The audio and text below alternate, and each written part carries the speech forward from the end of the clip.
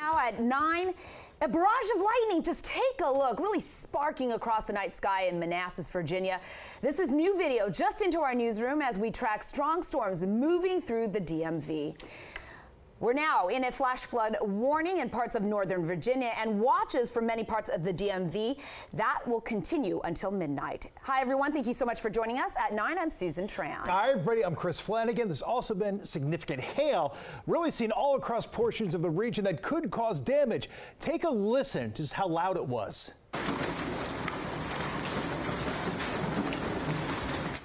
Yeah, coming down really hard here. You can just hear the magnitude of that hail. That is ping pong sized hail. This is from a viewer in Boyds, Maryland. That is in Montgomery County. Shot from inside a horse barn there. You can also see the wind just whipping the hail across.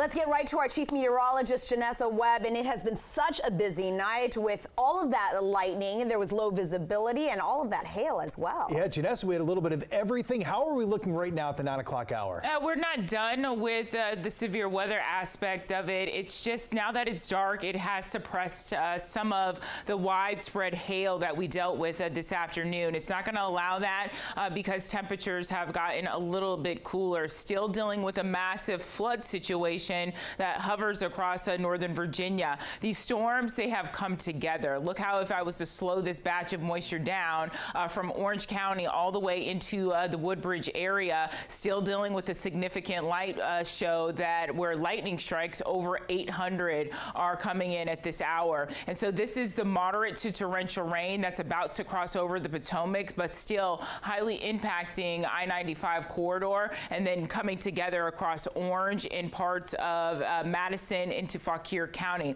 They have just expanded that flash flood warning now down towards uh, Culpeper as well. Here are some totals. Uh, the worst totals I've seen are across Warrenton, just to the north, over five inches in that region. And so here's the expansion of the flash flood warning. That's important. That's going to be staying in place until midnight tonight. All these polygons uh, just basically show you the counties that are impacted. It stretches from Orange Virginia. Most of Northern Virginia, highly impacted, is Manassas County uh, that is dealing with that warning. Flash flood watch will remain in place for Western Maryland down towards Northern Virginia until that midnight hour. Visibility, it's a big concern across that region right now. You only can see about a mile to two miles in front of you.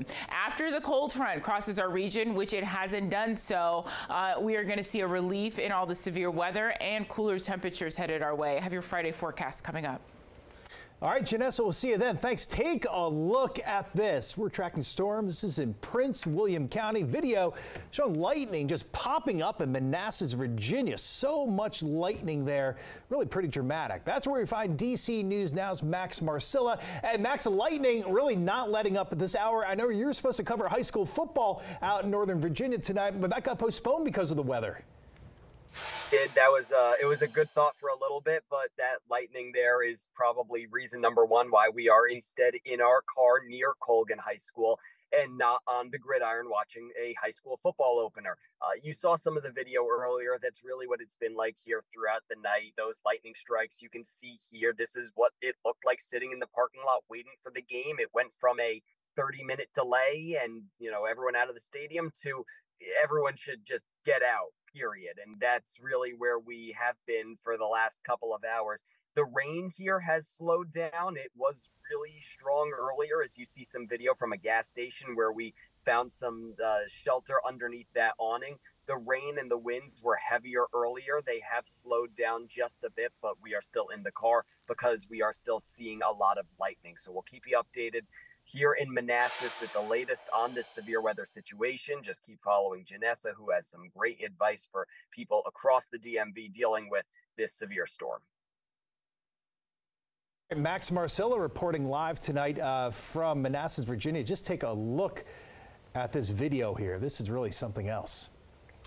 Meanwhile, Woodbridge, Virginia lighting up the sky as well. This is from meteorologist Damon Matson. You know, Damon's always on the clock. Mm. This is out in his backyard. and That is just a really incredible video there down in a, Prince William County. Yeah, this is another angle, and you can see the night sky completely dark, except every second or two, lightning hits. And it was really reflective in what Janessa was showing us on the radar that her radar was just you know, pockmarked with so many lightning strikes. At one point, I think she said in Fauquier County, they saw 900. Yeah, this is incredible. It looks like a strobe light there, just lighting up the night sky. Pretty incredible. All right, meanwhile, right now, airports in the DMV have ground stops in place uh, because of the storm.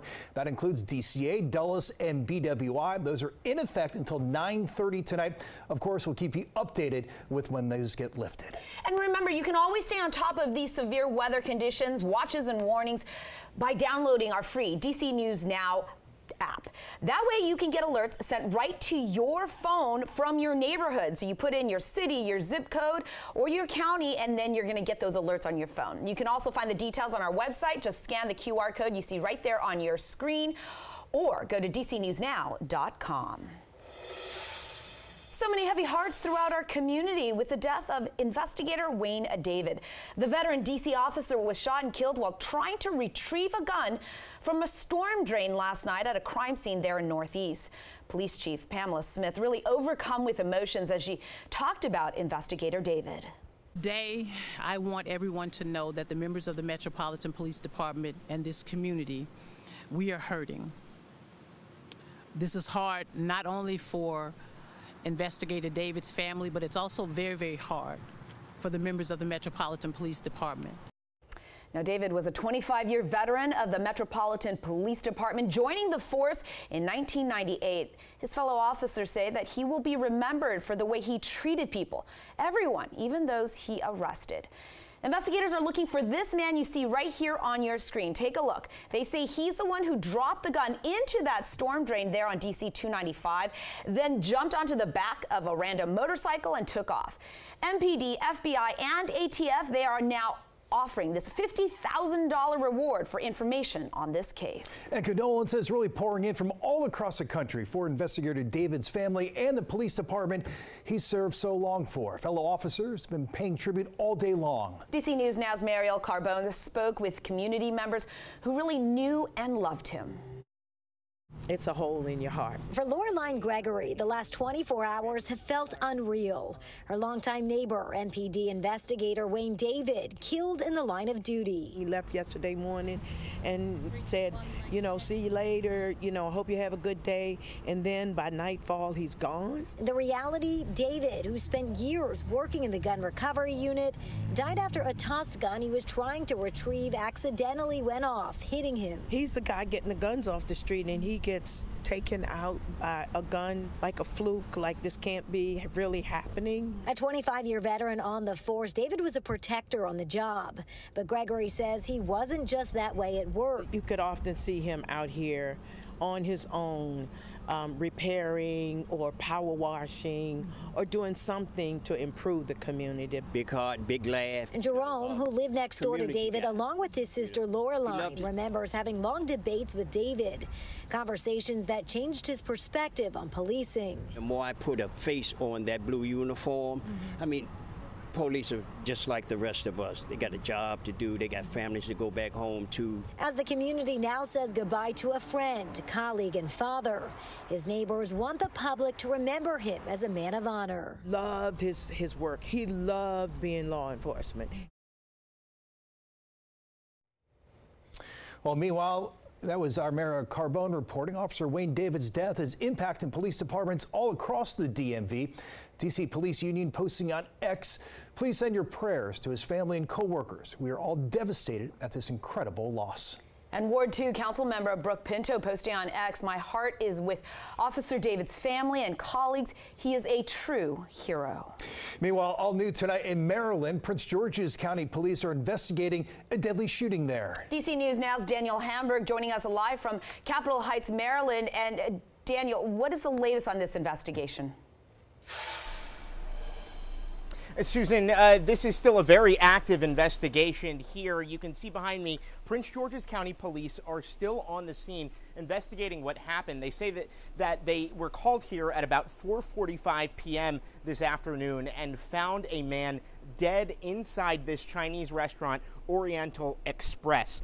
They say that uh, there were some witnesses inside, although there was a language barrier. They said they spoke Mandarin Chinese, so they were working to try uh, to get an interpreter to interview those witnesses and get a better idea of what happened inside. We don't know if it was a, cus- a customer or an employee or somebody else. Uh, the question was asked to police whether this was a robbery. They said they are investigating that possibility, um, but they did not have an answer for us today. Uh, we did talk with one neighbor who lives right across the street who frequents this area often.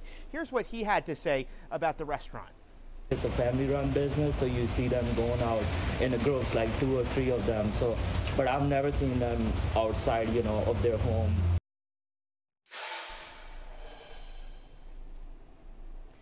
And so, as police are still here uh, trying to figure out what happened, uh, they say that this is an isolated incident. They believe they don't uh, believe that there is any danger to the public, but uh, this is a very ongoing investigation. We're live in Prince George's County. Daniel Hamburg, DC News Now.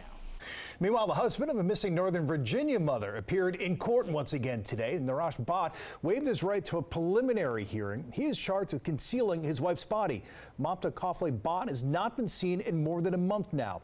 Our team inside court today said he walked in in an orange jumpsuit and shackles. Bhatt's defense argues that without a body, there's no probable cause. Supporters showed up in full support for the missing Manassas Park mother. I sit in my seat, I have my row, I stare at the back of his head. I would gladly look him in the eyes on behalf of his wife, and there's probably a whole bunch of people behind me that would love to look at Naresh Bhatt straight in the eyes. An immigration attorney has confirmed that Mamta's family is now here in the U.S. They flew here from Nepal. Mamta's mother and brother are now helping take care of the couple's one year old daughter. For the first time, we are hearing from D.C. Council member Trayon White since police arrested him on bribery charges. White posting on his personal Instagram page, thanking his supporters for the love, and he says he's trying to stay focused on getting through this time. Accusations of stolen valor against Maryland Governor Wes Moore. The New York Times reporting Moore inaccurately claimed that he had been awarded a Bronze Star for his military service. Now, Moore responding, at the time he was applying for a White House fellowship and he was responding about the Bronze Star, but never received the award. He was recommended, that is. It's given to service members who distinguish themselves through heroic service or achievement in combat. Now, Moore saying in a statement, quote, it was an honest mistake and I regret not making that correction.